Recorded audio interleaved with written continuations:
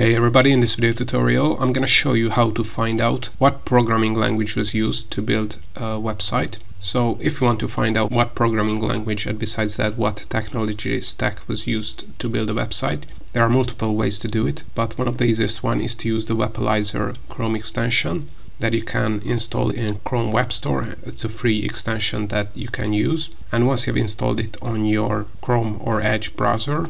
as you can see this is their Chrome extension icon so make sure to bring the extension here. If you do not see the extension here you can click on this extension icon here and the extension will show up here on this extension list and then go to a website like nichepursuits.com which is a website on making money online and online business building. And if you click on the Wappalyzer icon you're gonna see programming language section here. And as you can see this website was built with PHP and as you can see it not only shows the programming languages but also what kind of content management system was used. So this is a WordPress website and WordPress is built on PHP so this is not a surprise. But you can also get on information like they are running ads via Mediavine which is a display ad platform whether they are using Google Analytics, what kind of JavaScript libraries they are using, what kind of WordPress plugins they have. And of course, you're not just going to be able to detect PHP, but if we check out, for instance, uh, Monday.com, which is a CRM and project management website, if you click on the Wappalyzer icon,